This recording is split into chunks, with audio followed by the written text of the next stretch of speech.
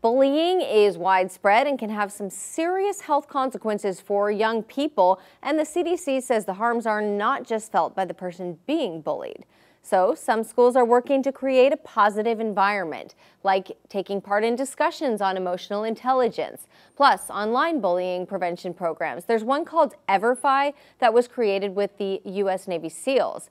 In this program, students are asked to stand up for others not able to stand up for themselves asking an adult or going to them and making sure they're okay or even talking to the bully.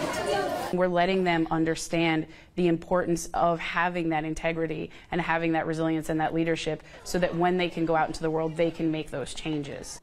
That Everfi program is tailored for each grade from kindergarten through high school, and it's free, and a quarter of all schools across the nation and student surveys show progress. Now, Superintendent Justin Kern with Gridley Unified tells Action News Now that all schools in Gridley use positive behavioral intervention protocols. They also have social emotional counselors, school psychologists, and two staffed wellness centers. Shasta Union High School District says one of their most effective tools in addressing bullying is something they call the Peer Court program.